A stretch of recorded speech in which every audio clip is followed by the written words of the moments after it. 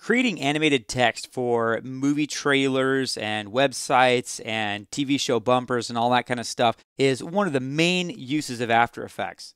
There are few, if any, programs out there that can do what After Effects does with text. And so this chapter is going to serve as a powerful introduction to the world of text.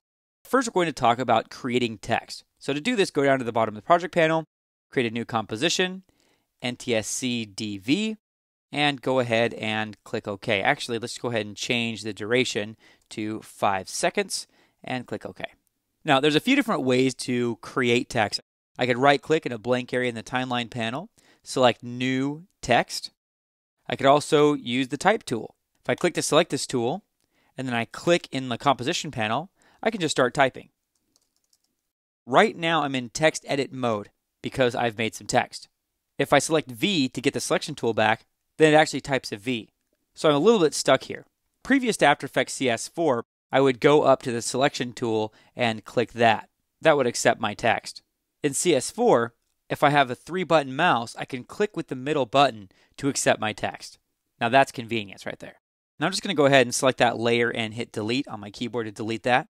And there's another way to create text with this same tool. I can click and actually drag a box.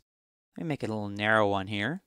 And let me go over here to the character panel and reduce the size of it by clicking on this pixeled count right here. It sets the font size.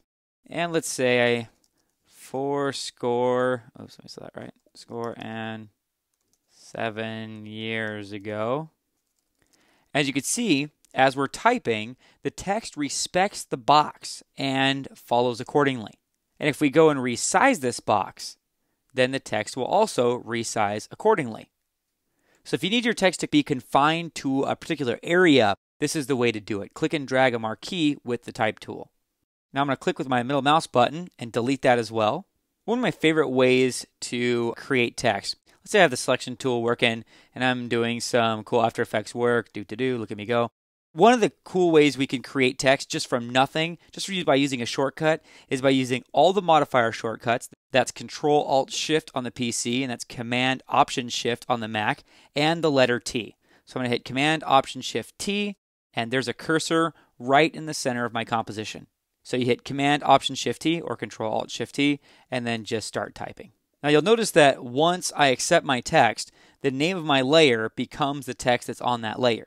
But if I just make some text, blah, blah, blah, blah, blah, until I accept it, it just says empty text layer. So you got to be really careful. Let's say I go in and I'm making some adjustments here, as we'll talk about in the next movie, and I'm resizing things and I'm doing this, that, and the other.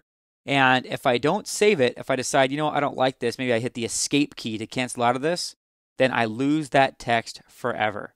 So when you're first creating your text, as soon as you get to the point where you've got a base and you like it, then accept it and then go back in and edit it again. The way to edit text is just to simply move your type cursor icon. Watch this. See how there's like a little box around the cursor? As soon as I put the cursor close to text, that box disappears. So this icon means I'm going to create new text. This icon means I'm going to click and edit text that already exists. In the next movie, we'll look at how to format and customize your text.